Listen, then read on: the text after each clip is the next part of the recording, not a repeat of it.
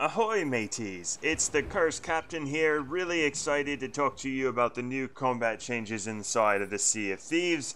So pull up your ship, come aboard, and let's have our pirate conversation.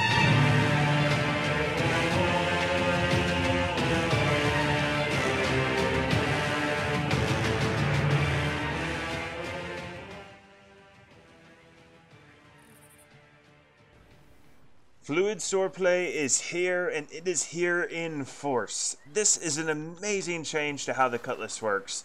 You no longer slow down when you swipe your sword and it gives you a lot more mobility. In other words, if you don't have the cutlass assigned as one of your weapons, you are in a world of hurt. Time to sharpen your blades, mates, and get ready.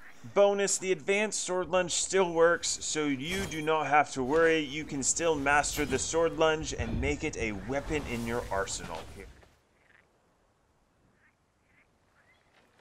You can no longer cycle between weapons for an instant kill.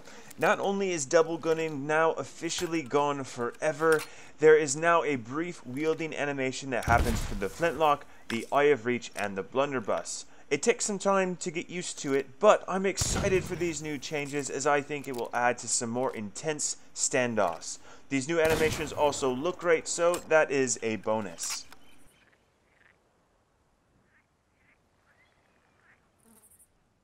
In this update, we see some new changes to the reloads and the reload speeds.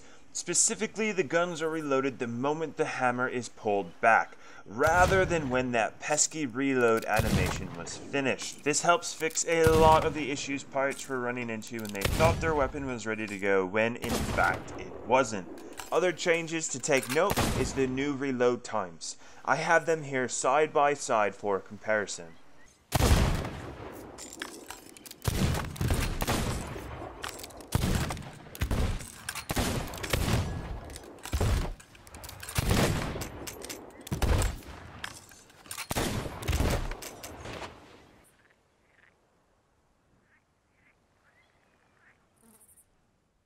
Now, let's talk about the Eye of Reach for just a moment.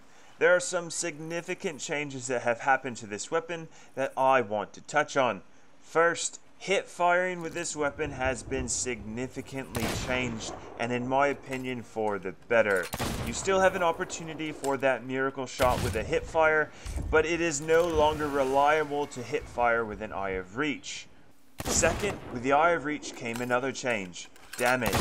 The Eye of Reach no longer does 80% damage and it now does 70% damage per bullet, which means to bring down another player with a sword and Eye of Reach combo, it now takes two swipes of your sword to bring them down. My good friend No Play Jack made a great graphic that I will link in the description below. It shows all of the weapon damages on the fly, and it's a great thing to have on hand.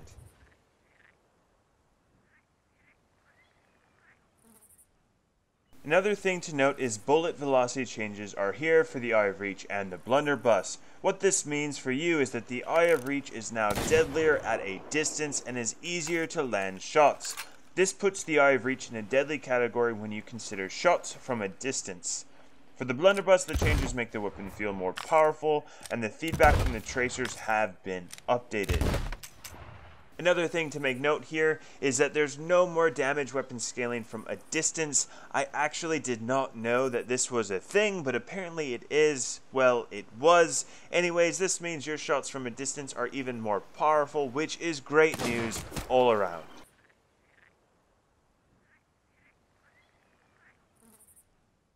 The only weapons that will have knockback going forward are the Cutlass and the Blunderbuss. Knockback has been removed from the Flintlock and the Eye of Reach. This also applies to our friends the Skellies. The only difference is Skellies with the wonderful Blunderbuss also will not have knockback. It is a change that will affect combat on the seas and close quarters combat. Something to make note of is we tested this out on a ship to see if a flintlock would knock someone off a ladder. It did not. The only thing that will knock someone off the ladder is the blunderbuss or the sword combo. Overall, I am very excited for these changes. I personally was getting a bit tired of the Eye of Reach sword combo and the double gunning plague that was in the Sea of Thieves.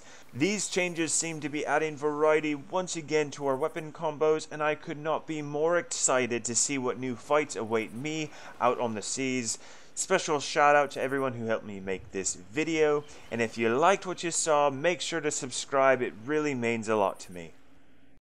One more time, one more time. Oh, snap.